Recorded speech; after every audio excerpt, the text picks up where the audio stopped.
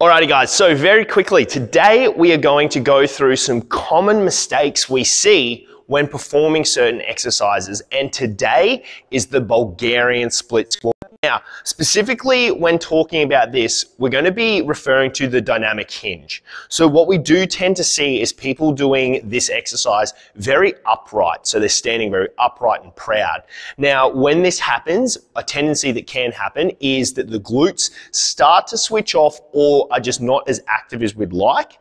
Then the referral, uh, or not so much pain, the referral feeling will move more from the glute into quad hip flexor. So what we want to just quickly demo is what that will look like. So when we're taking or setting up for our Bulgarian split squat, you'll see how Troy starts with both his, both his feet at the base of the box or bench, whatever we're using. He then takes a normal walking step out. This is to set up his distance away from our box. From there, he pops the other foot up. Now, we're going to show you what we mean by being upright first. So our upright Bulgarian, what we're going to do is people, this is what we see, this is what we don't want to happen. So the person will be upright.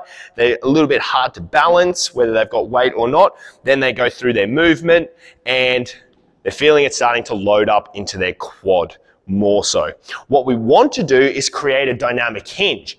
Now, very important with our dynamic hinge is when we hinge at the hips, we're bringing that chest slightly forward, but we're not rounding through the back. So when we set up the dynamic hinge, we're not rounding. We are changing the position of where our hips are.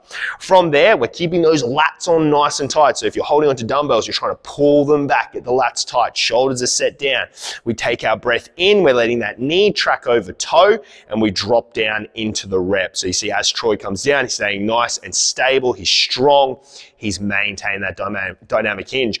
What this does now is with his planted foot, he is feeling that glute start to really fire. A lot of the, uh, a lot of the feeling sensation is moving out of the quad solely, and there should be no feeling or sensation in the hip flexor.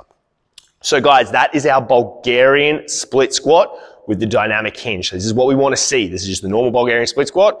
But as I said, remember, dynamic hinge.